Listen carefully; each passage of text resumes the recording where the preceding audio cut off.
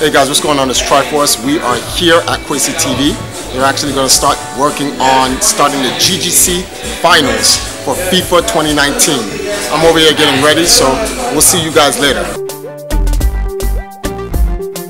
And um, you know, you cannot talk about um, e-gaming in Africa without mentioning um, Triforce.